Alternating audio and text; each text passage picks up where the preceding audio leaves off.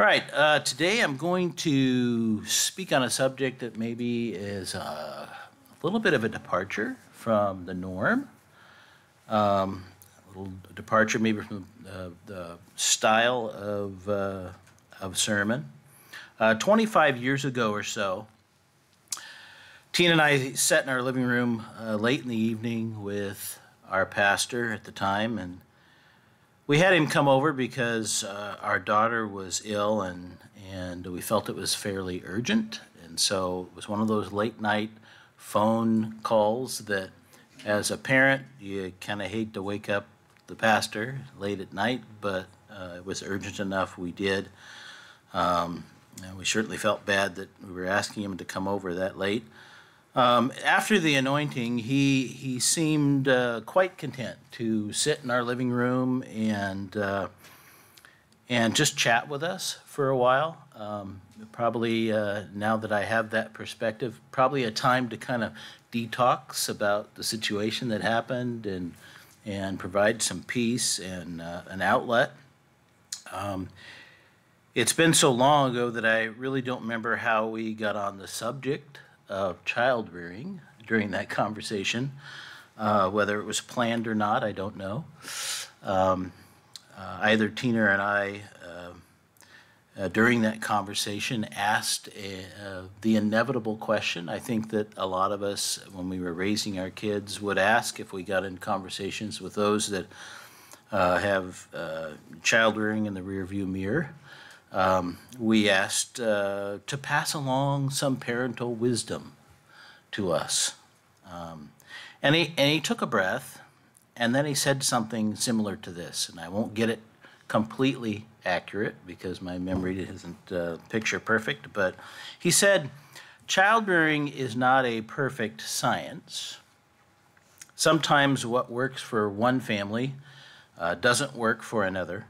Sometimes it works for one child, uh, doesn't work um, well for the next in the same family. Um, the reality is you're always a more equipped parent after you raise your children and they move on to commanding their own lives. Probably most of, if not all of you, have experienced that. some way or another. Uh, this is a fact that Tina and I are full aware of now as empty nesters and grandparents. We are much more patient parents than we ever were when we were raising our four. And uh, so his words did ring true in our life. He continued, The best counsel I can give is begin with the end in mind. Begin with the end in mind. Well, if you're looking for a title, that's the title today. Begin with the end in mind. Uh, he went on to say he did not coin that phrase, uh, that he had uh, picked it up years ago uh, from a Stephen Covey book that probably uh, many of you have read, uh, entitled Seven Habits of Highly Effective People. Um, I recognized the book um, because my father had read it and he had passed it uh, on to me to read. Uh, but hearing him talk about it uh, connected um, past thoughts that I had in reading that book. And, and it connected to us and what we were going through at the time, raising four kids. Um, and the idea resonated with us and has stuck in our lives um, through all those years. As parents, it's uh, natural for us to think about our kids' futures. Um, all of us want our kids to uh, to grow up and be successful, well balanced adults. Um, in the body of Christ, we want more than that, right?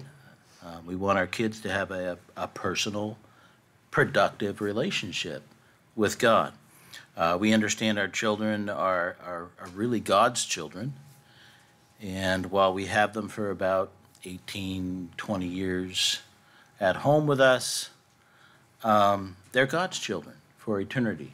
And so, uh, as parents of children, we feel the impact, the heaviness of that responsibility. begin with the end in mind is a, is a pretty easy concept to understand.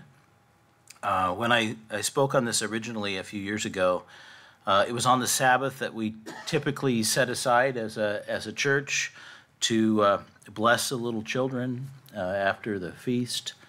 Um, now, we don't have too many parents raising kids in this congregation, I get it.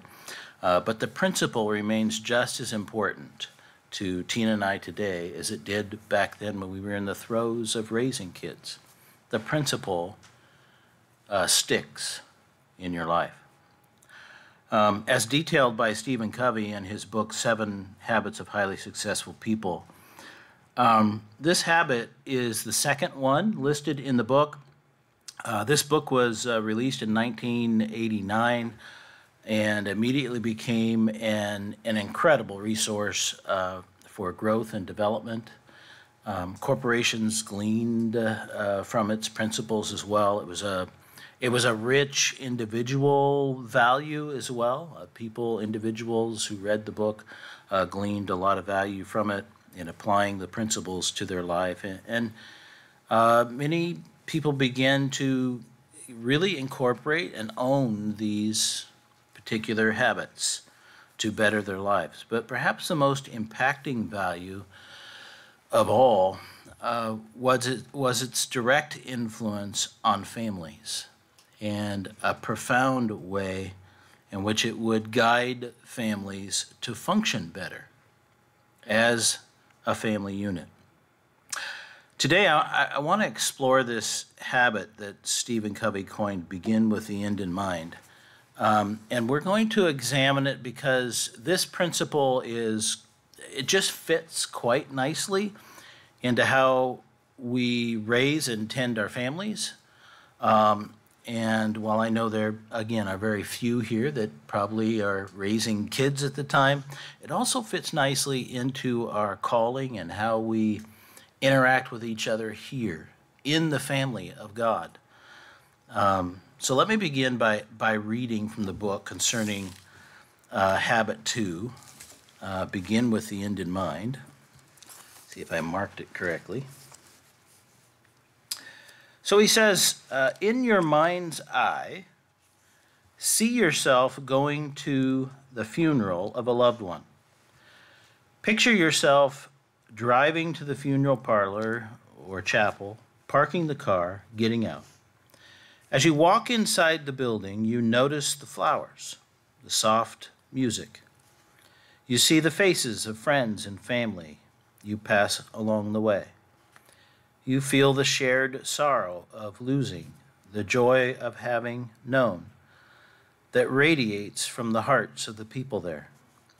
As you walk down to the front of the room and look inside the casket, you suddenly come face to face with yourself. This is your funeral. All these people have come to honor you, to express feelings of love and appreciation for your life. As you take a seat and wait for the services to begin, you look at the program in your hand, and there are to be four speakers. The first is from your family, immediate and also extended children, brothers, sisters, nephews, nieces, aunts, uncles, cousins, and grandparents who have come from all over the country to attend. The second speaker is one of your friends, someone who can give a sense of what you were as a person. The third speaker is from your work or profession. The fourth is from your church, where you've been involved in service. Now think deeply. What would you like each of these speakers to say about you and your life? What kind of husband, wife, father, or mother would you like their words to reflect? What kind of son or daughter or cousin? What kind of friend? What kind of working associate? What character would you like them to have seen in you? What contributions? What achievements? Would you want them to remember? Look carefully at the people around you What difference would you like to have made in their lives? So now you conceptually understand where the author is going when he says, begin with the end in mind. Make a statement that's very true and is very true in, in our lives and raising our family. Children don't just become something, they are made something. Children don't just become something, they are made something. They are made what they are made. But everything from deliberate visionary planning on one end of the spectrum to doing what comes natural on the other end of the spectrum all comes into play, doesn't it? Each one of us can look back into our own personal developmental timeline and we can trace our habits and character makeup. We can uh, trace them back to the very early stages of our life. Someone being deliberate about how they taught us, either through personal example, discipline, um, education, or all of these. What a blessing it is when an infant is born into a family where it has all the elements it needs to choose to be successful when it reaches maturity. I suspect that many of you listening today can probably point to some holes that existed in your upbringing that uh, manifested itself in your life in ways that have um, not been pleasant, been challenging to you through the years. Um, you may be able to go back and, and look at some of those, the origin of some of those characteristics or habits uh, as you begin to desire to change them. Maybe those habits or things that you were given uh, at a younger age cost you some relationships along the way, cost you professions, uh, cost you money, cost you uh, loss in some way, uh, maybe deep personal harm. Uh, and here we're dealing with these things many, many years later under God's scriptural tutelage, um, repairing the damage done and, and changing our base from which we operate, from flawed, carnal, uh, you know, physical view to a godly, spiritual foundation. Uh, there's an observation I will share that probably won't surprise any of you. One of the greatest failings uh, in dysfunctional families is child rearing by reaction. Uh, a deeply dysfunctional family operates without protection and blessing of planning when that happens. So if you sit back and you watch families like this, uh, you'll see the eventual chaos and, and pain that takes over in their lives.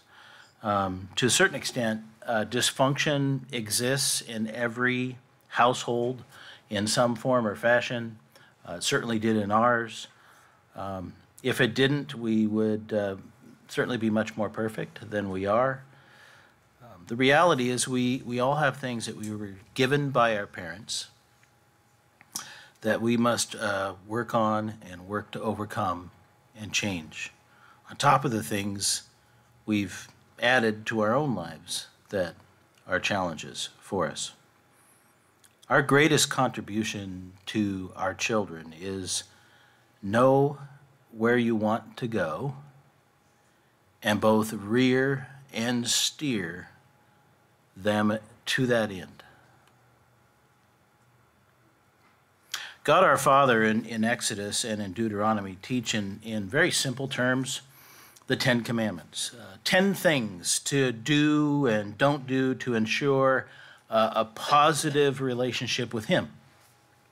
Uh, he offers a happier life and some uh, promises He makes uh, that if we do these things, he will fulfill these uh, promises. Let's turn to Deuteronomy 5.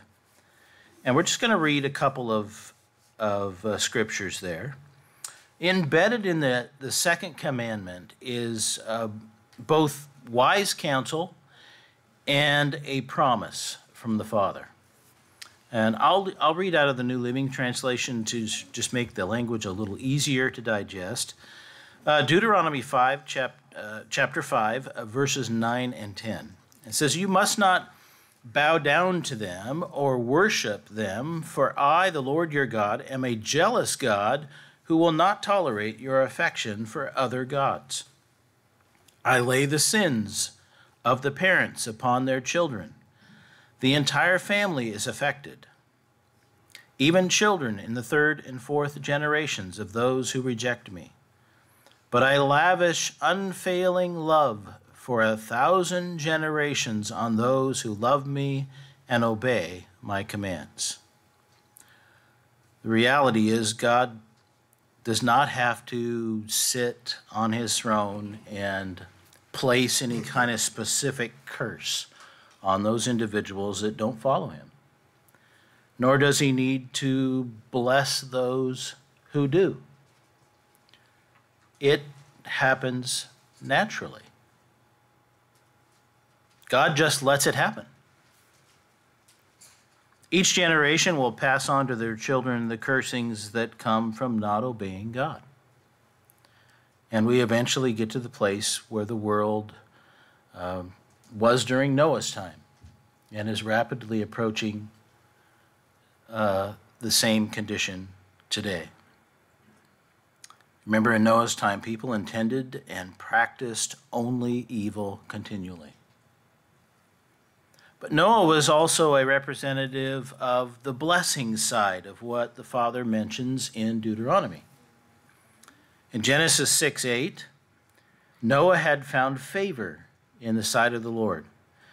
And in verse 9 of, of Genesis 6, it says, This is the genealogy of Noah.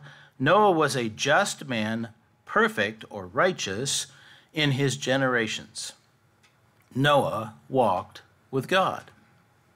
So, why did Noah find favor? Well, he walked with God. It's the easy answer to that question. Why did he walk with God? He came from a genealogy who walked with God. Uh, it's interesting to note that Noah's father Lamech was with him and died uh, shortly before the flood. Lamech would have uh, been alive for the last 56 years of Adam's life. You realize there's uh, quite an overlap there. Um, and certainly Noah would have uh, known Enoch, his grandfather, who the scriptures say walked with God as well. Noah would have been alive for the first 60 years of Abraham's life. It's interesting. They lived so long that there was some overlap there. There was a genealogy of people Noah was connected to that had a history of walking with God. Now, I'm saying all of this because Noah just didn't uh, wake up one day righteous. Um, in much the same way, Abraham just didn't all of a sudden become faithful. It took time.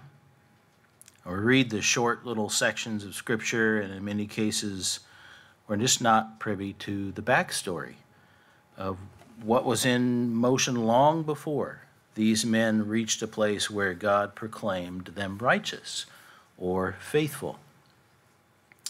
Someone had to begin with the end in mind in their lives. Now, all of all of us have backstories. what do I mean by by backstory? Well, Tina and I were talking with uh, other couples in the church about uh, 15 or 20 years ago in a in a social setting and, and we were chatting about our children in a in a general sense um, the kind of small talk that's normal for people to, to do when they have uh, things in common. uh, like parenting. So uh, we were all gathered together there talking about our kids and our experiences. And we were on the topic of, of uh, challenges of parenting and how some kids are just tougher to raise than others. And uh, how difficult it had been for one set of parents uh, with their seemingly high energy children. And I remember this uh, parent then turning to Tina and I and making a statement that spoke to, that really spoke to their inability to fully understand a backstory of our family. They said, You're fortunate that you have such even tempered children.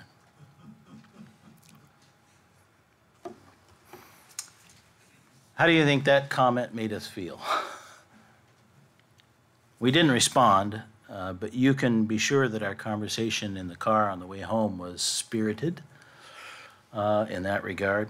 Um, it was, to be sure, a very ignorant statement that one made with a very kind of myopic and selfish view. Um, in this simple statement, all of the years of focused and deliberate hard work was cheapened, discredited. In this person's mind, we had been handed a stacked deck of four perfect children. This situation taught us a, a, valuable lesson about seeing the face of a building, but not knowing what's going on inside. The old judging a book by its cover lesson. But this situation also offered up another lesson. How had we been able to raise our children to a standard where others would look at them and say, Oh, they must have been so easy to raise. You're so lucky. Following the begin with the end in mind topic, there's a part of this that, that, that comes natural to us um, if we just think about parenthood in, in that regard. Uh, God's kind of hardwired us as humans. Um, when a couple gets pregnant for the first time, there is a there's a joy like no other. Um, it's unique. Uh, the minds of uh, both the prospective uh, father and uh, and mother turn to nesting in their own way.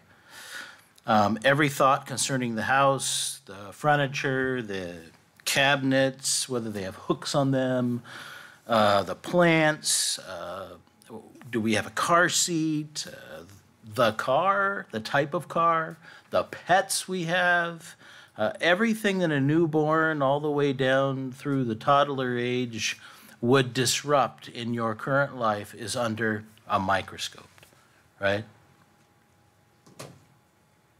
There isn't anything within a parent's control that won't be examined and found either safe or not safe for their child. And and if it's not safe, it's either either repaired or gotten rid of or new things bought. So what are they doing? What are these new prospective parents doing? They're beginning with the end in mind. They're looking down the road and they're saying, I've got to make these changes so my child is safe in this environment. They instinctively know they must get this child from complete dependence to some form of independence, and then what that looks like in their home. And they've got to get it to the point where they're completely dependent to a place where they're confident they can reason with the child and the child can understand and then follow instructions well enough to bring some amount of safety to itself and to others in the house. So how had how had Tina and I been able to make what was not easy look easy to someone else from the outside? We had a, a level of inherent ability that we did not fully understand at the time and I think all parents do. I think you enter that time in your life and you think, what in the world am I doing? I don't know how to do this.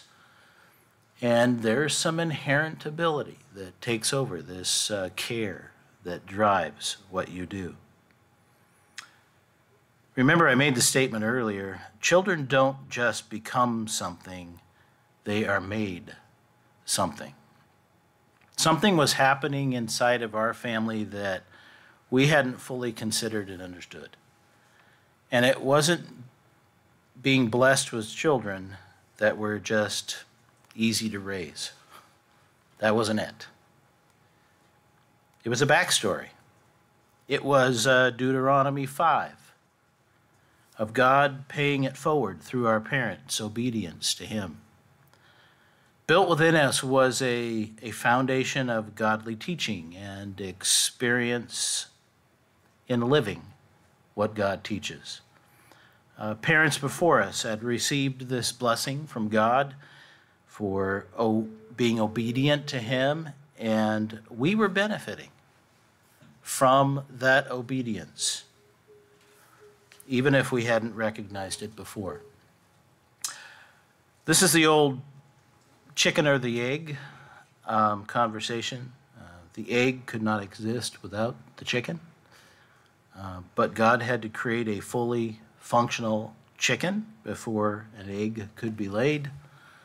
And so this is what we were experiencing as young parents. If we can find ourselves beginning with the end in mind naturally as new parents plan for the, the safety of their coming child, then we can, we can kind of grasp this concept that Stephen Covey coined in this book. God hardwired into humanity a basic ability to begin with the end in mind. So we understand the principle and we see it in its most basic form. And we have a fundamental understanding that God not only understands this principle, but He is the progenitor of it. And He is the rewarder of it. Okay, so we can begin with the end in mind on a small scale or a small project like, like the first two years of a baby's life, if you want to call that small, an infant's life. But the same principle applies to longer projects and lengthier timelines. I, I, I think we also are wise enough in, in this room to, uh, uh, we're filled here with, with well seasoned veterans of life, that this principle, principle doesn't just apply to childbearing. Uh, but it applies to every one of us in sculpting and shaping our lives and in helping our spiritual brothers and sisters shape and sculpt their lives. I'm going to present some more illustrations that will help us. Um, but before I do, uh, let me stop briefly and address a, a counterfeit, if you will. Uh, there's a clever counterfeit that exists that uh, many young parents grab onto uh, that can lead them in the wrong direction. And I think we can identify with this counterfeit as well, whether we're raising kids or not. Counterfeit uh, means made in exact imitation of something valuable or important with the intention to deceive or defraud. That's a counterfeit almost everyone arrives at a place in life where they're unhappy with something, uh, maybe some or, or all of the elements of their upbringing. Um, we can have very strong feelings concerning the faults we perceive in our parents and the way they reared us. I think it's somewhat a natural part of uh, our maturity as a person to grow through this stage where we can look back at our parents and say, man, they were terrible at this. Or, man, I wish they would have done this better. With a tad bit of ignorance to the amount of work it takes to do the job they were doing, right? I think that's just a stage in life that we all seem to pass through. It manifests itself by something like, I'm not going to do that with my kids. I won't ask for a raise of hands, but I bet many of us parents in here said that statement at least once in their life. I know I have.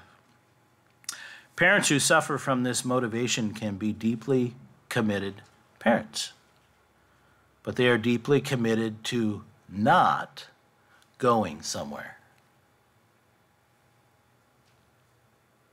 And they're deeply committed to not going somewhere more than they're committed to going somewhere.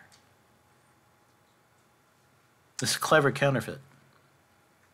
Just because you're, not, you're deeply committed to not doing something doesn't mean you will avoid uh, committing your own set of mistakes. I've seen this thought process in my own family and in the mindset of uh, many other couples throughout the years. Um, people that, that think or reason, and I probably was one of those at one time, uh, my life was impacted in a negative way by how my parents raised me, and I will not allow these set of things to exist in my family.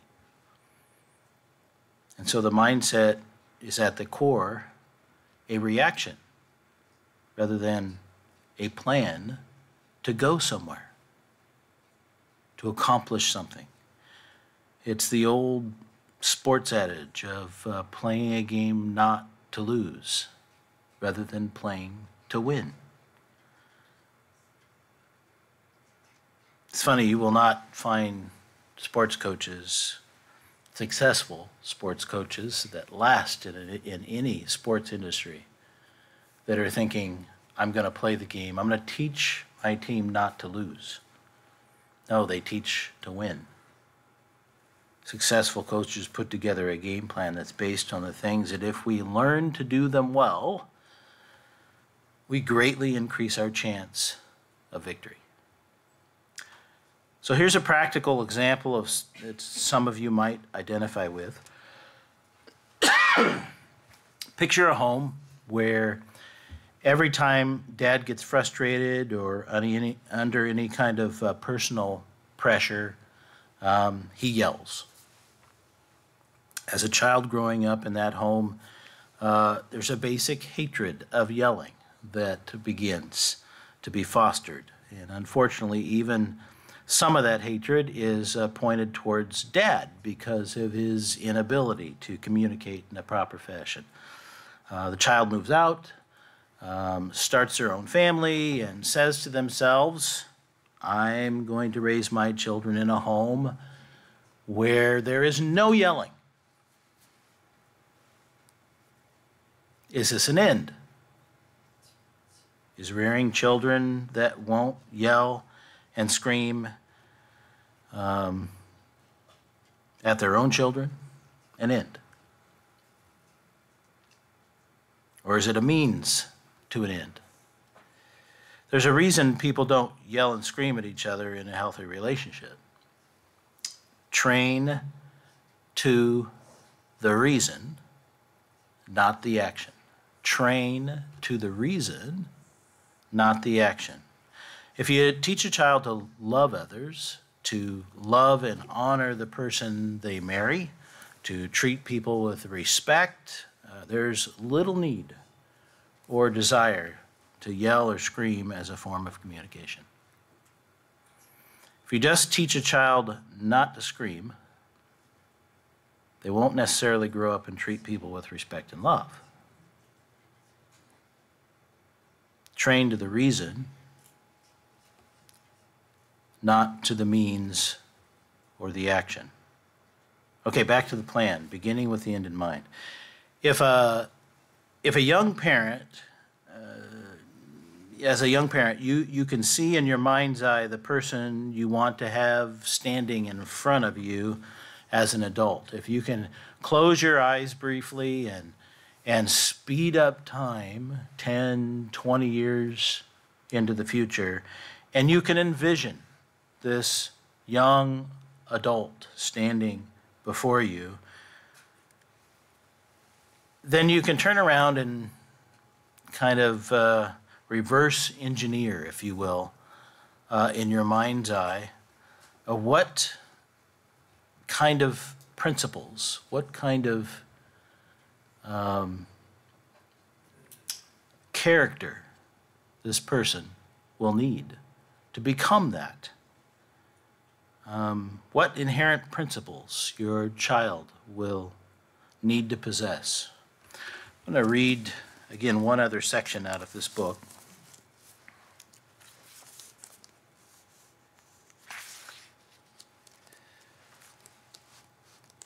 It's in a section entitled All Things Are Created Twice.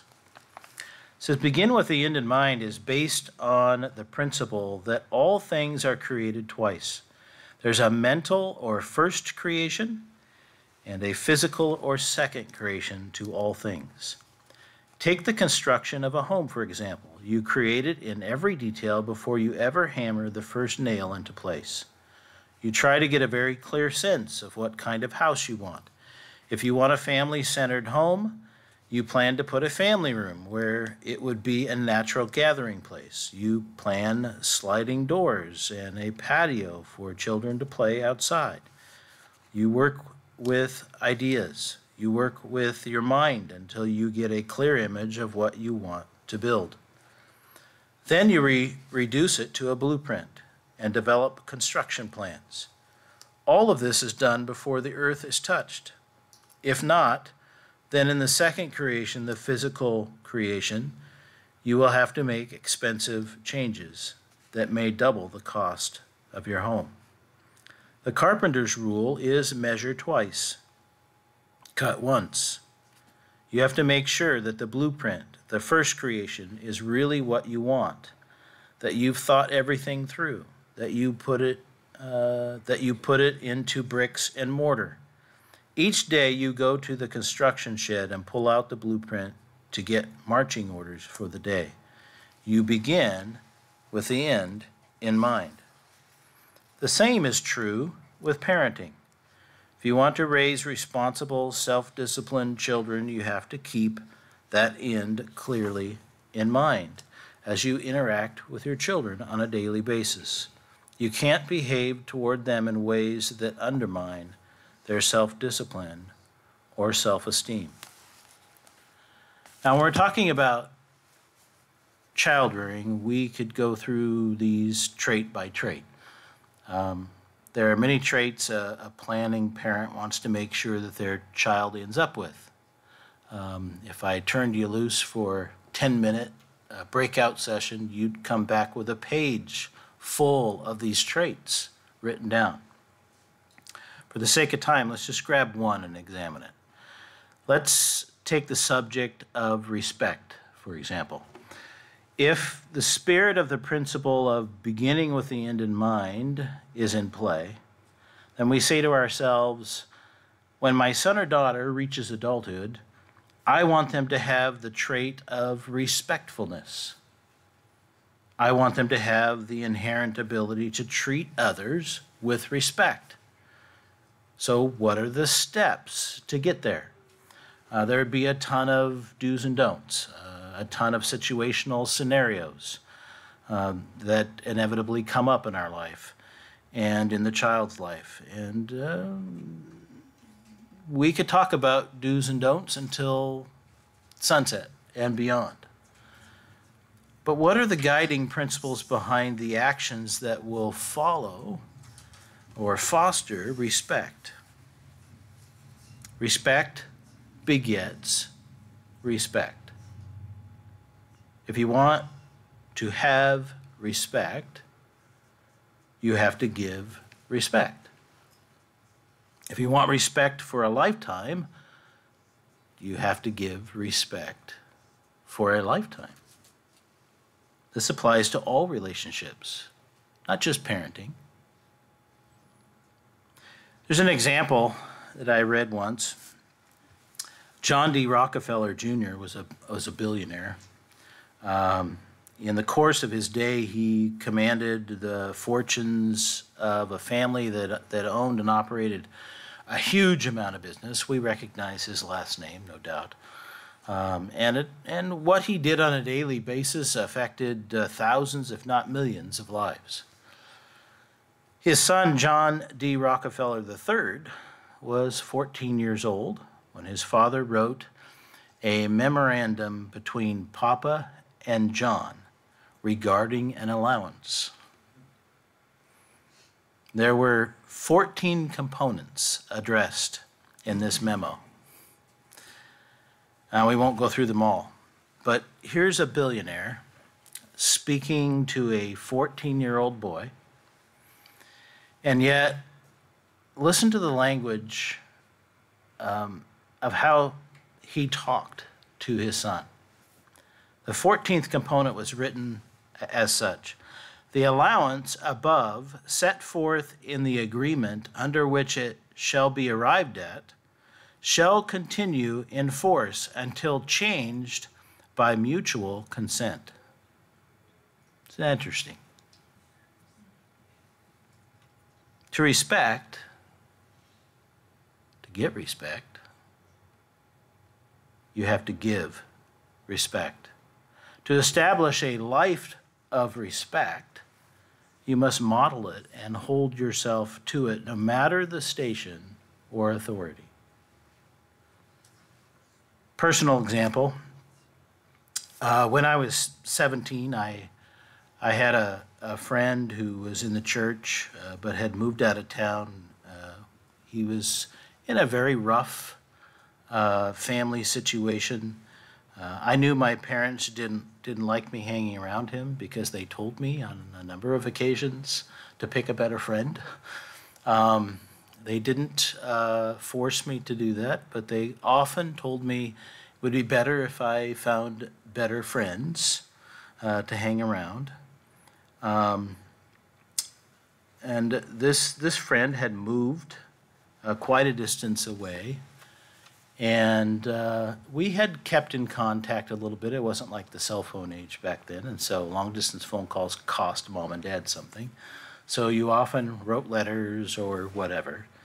Um, one Friday, this friend called me and was tearfully desperate to uh, leave his painful home life at the time and escape a potentially life altering scenario that he found himself in in high school, the local high school. He, he frankly needed an immediate intervention. He asked me if I would pick him up at the bus station in Portland, if he could get the money to buy a bus ticket. And he was going to do that that day, and it was Friday. And I just said yes. My dad and mom had no idea what I had promised. Um, in fact, when I asked to borrow the car on Friday evening, they didn't think twice about it. Um, but when I came home with my friend and his suitcase, the gig was up. Not a word was said. Uh, mom got a sleeping bag. Uh, dad retired to his den, I assume for prayer. um, and only silence through the weekend until Sunday morning. And Dad woke us up and said, After breakfast, we're going to talk. So, Dad pressed hard in conversation at breakfast uh, to understand why this had happened. He, he was investigating. And when he seemed satisfied with the information that he was told, Dad made a statement that I will never forget. He said, looking my friend straight in the eye, he said, You're still here because I trust my son. And I went, Whoa. Then he continued to lay down some ground rules.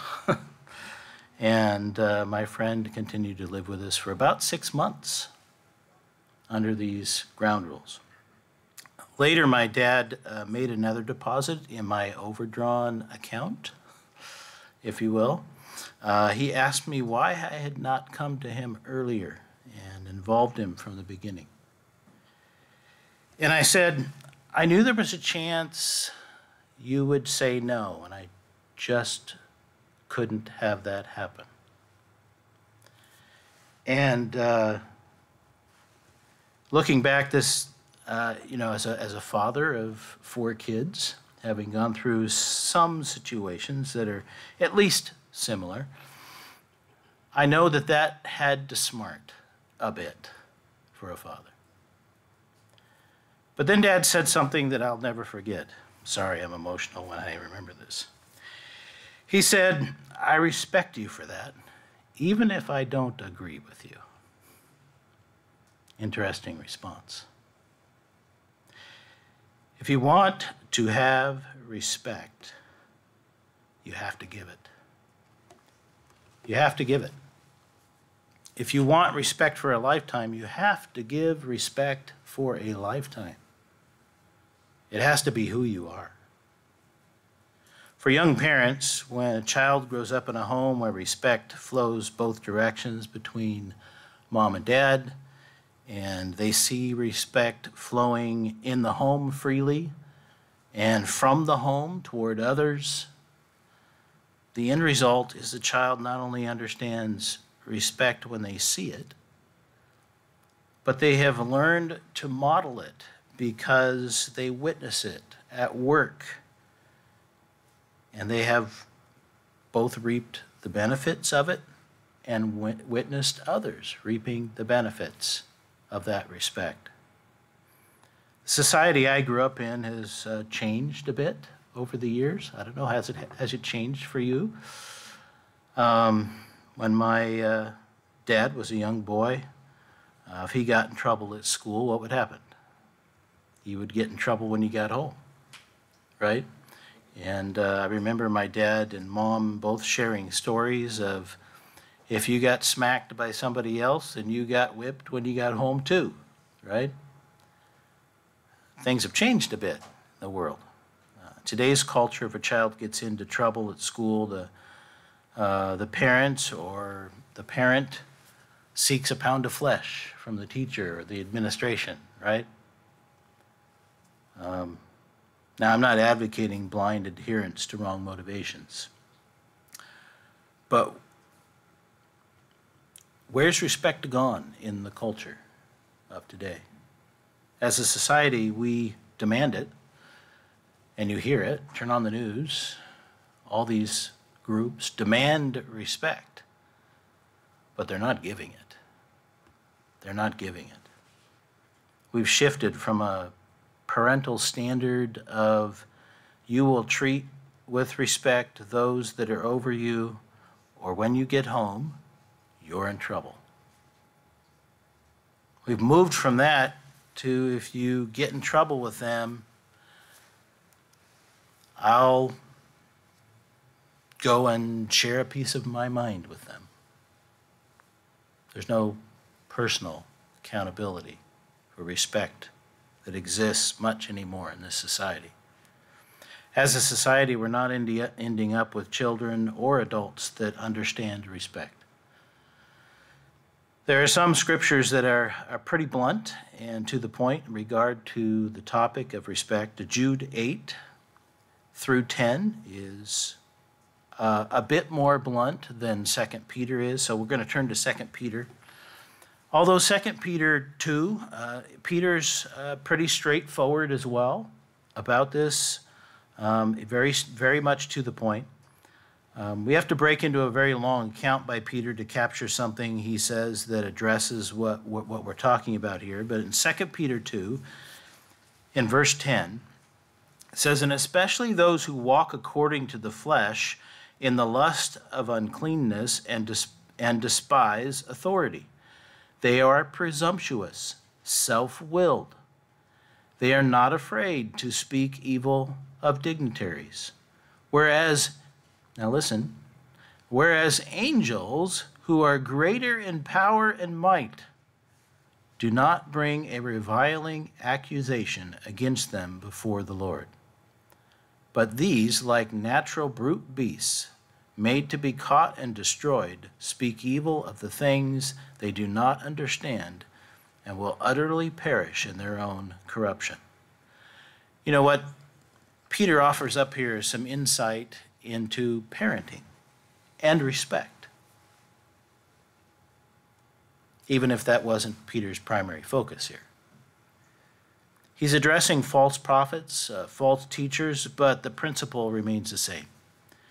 The angels have the good sense to know, to know who they serve, and in modern vernacular, they keep their mouth shut when it comes to the things that are the Lord's authority and not their own. They have and show respect for the plan of God and who God is. Peter says there are those that think they live of their own authority, presumptuous, self willed, and speak evil of and toward others. And these people have an end, and it's not the end result any of us are looking for that he spells out there. uh, some of us have witnessed this kind of disrespect unfortunately, even in the church in some form or fashion through the years. It's a human condition, right? And hopefully it causes us to, to stop and think about how we are thinking and reacting in the midst of what Peter calls speaking evil, which means defaming, reviling, slandering, blaspheming, damaging a reputation.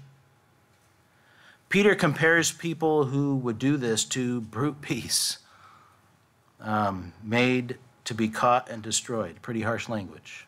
And, and Peter's, Peter's using language that's, that's uh, a little more tame than Jude 8 through 10 uses.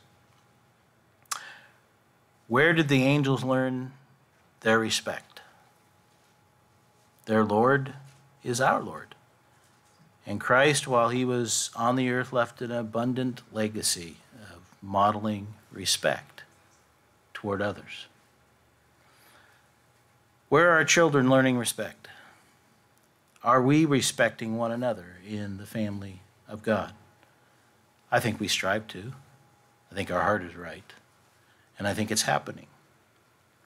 The next generation in the church must have this inherent trait of respect toward God and toward others to receive the blessings God has in store for them. Respect is a powerful tool for our children to learn and for us to possess and to use for a lifetime. Proverbs 12:24 says, "The hand of the diligent will rule, but the lazy man will be put to forced labor." This principle rings true in parenting as much as it does in our own personal lives. If we are purposeful and disciplined about what we put into the job of parenting, but what we put into the job of being a brother and a sister in Christ in the family, about who we are and what we want each other to be. Then Proverbs 20, verse 7 will apply. The righteous lead blameless lives Blessed are their children after them. The enduring godly spiritual principles we choose to live by as parents and as people of God are a generational blessing from God. The Godhead began a long time ago with the end in mind. And everything that they've been doing together is to that end result. Make the deliberate choice in your life to begin each day with the end in mind, and you will not be disappointed with the results.